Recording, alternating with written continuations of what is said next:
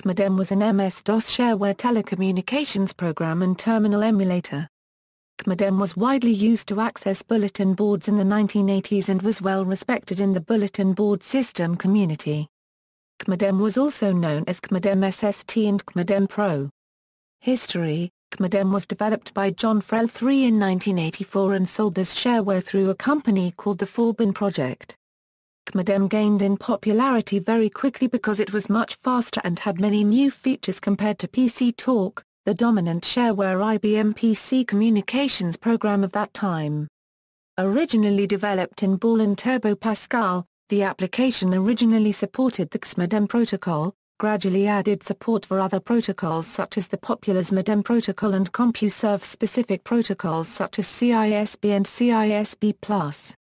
Qmodem evolved to include features such as the ability to host a simple bulletin board system, the application was sold to Mustang Software in 1991 and in 1992 Mustang Software released version 5 of the program. Mustang Software changed the name of the software to Qmodem Pro and released several versions for MS-DOS and for Microsoft Windows with the final version being Qmodem Pro 2.1 for Windows 95 and Windows NT which was released July 7, 1997. Qmodem Pro continued to be sold by Mustang Software through 2000 when the rights to it were purchased by Quintus Corporation. Its status is now abandonware. Awards 1992 John Friel received the Dvorak Award for his development of Qmodem.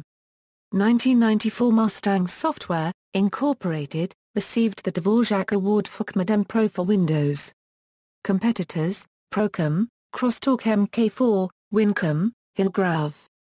Qodem, an independent free software re-implementation of Qmodem for Unix-like systems called Qodem started development in 2003.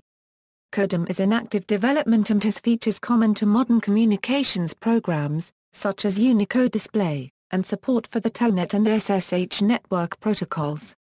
It has also been ported to Microsoft Windows.